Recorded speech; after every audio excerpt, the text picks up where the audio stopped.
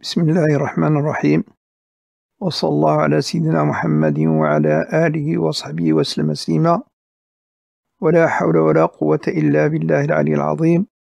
ولا حول ولا قوة إلا بالله العلي العظيم. سبحانك لا علم لنا إلا ما علمتنا إنك أنت العليم الحكيم.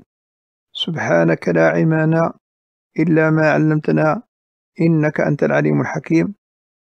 وبعد أيها الإخوة لا زال حديثنا عن مراقبة الله عز وجل. وفي لقائنا الأخير كنا بدأنا شرح الحديث القدسي كل عمل ابن آدم له إلا الصوم فإنه لي وأنا أجزي به. رواه البخاري. وقلنا إن العطية بقدر معطيها. العطية بقدر معطيها. والمعطي هنا هو الله عز وجل. ولهذا كان أجر الصائم عظيما كثيرا بلا حساب. والصيام في حقيقته صبر على طاعة الله وصبر على محارم الله وصبر على أقدار الله من الجوع والعطش وضعف البدن والنفس. وقد اجتمعت في الصوم أنواع الصبر الثلاثة وتحقق في الصوم أن يكون الصائم من الصابرين. وقد قال الله تعالى إنما يوفى الصابرون أجرهم بغير حساب. ولنتذكر كذلك أن الصوم عبادة ترتبط ارتباطا تاما بحقيقة المراقبة وهي موضوع دروسنا. حقيقة المراقبة الذاتية من الصائم الله تعالى. كما ترتبط بحقيقة الالتزام الباطن بأوامر الله سبحانه.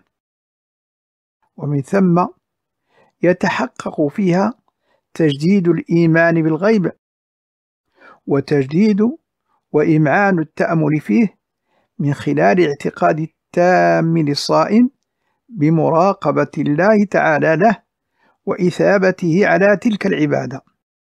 تلك العبادة التي يرتبط أداؤها بالإخلاص والصدق والأمانة كشروط أساسية لقبول هذه العبادة التي هي بالأساس سر بين العبد وربه. زد على ذلك. تنشيط حالة مراقبة الله والاعتقاد الوجدان الجازم باطلاع الله على فعل العبد للصوم. كما يحقق الصوم كما يحقق الصوم فضيلة العفة. فشط الحديث يدع شهوته وطعامه من أجل. فالله تعالى يباهي بالصائم الذي يترك الحلال ويمتثل الغيب في هذا الترك.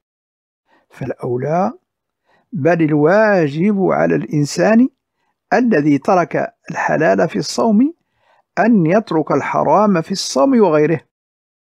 لأن الامتناع في السر عن الحلال من منطلق الإيمان بالغيب ومن منطلق مراقبة الله ثم استحضار مراقبة الله تعالى يكون تربية وبناء ودافعا لامتناع الحرام في السر والعلن وعندما نتأمل وعندما نتأمل وننظر في علاقة التربية بالصوم نجد نجد أن الصوم يأتي مهذبا لنشاط الجسد ونشاط غرائزه الجنسية.